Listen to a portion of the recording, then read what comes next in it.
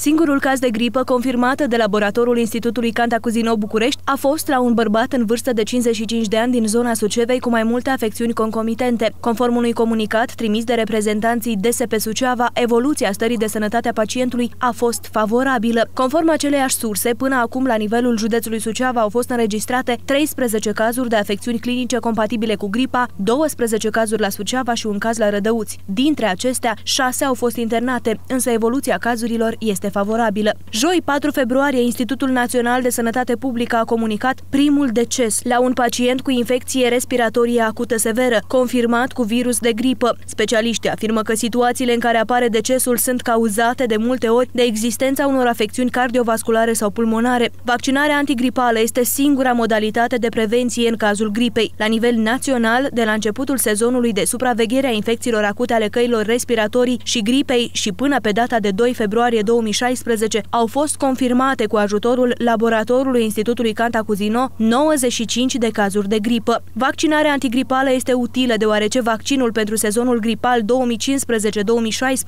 include tulpini de virus AH1N1, AH3N2 și B, care se potrivesc cu cele mai multe virusuri cu gripa sezonieră care circulă în acest sezon, oferind o bună protecție. Este important de știut că femeile însărcinate, copiii mici și persoanele cu alte afecțiuni prezintă risc mai mare de îmbolnăvire.